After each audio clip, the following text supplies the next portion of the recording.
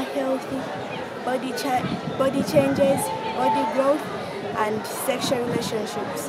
Peer education has helped me to support other girls, and now life is good for our girls in schools because they have the knowledge from peer education.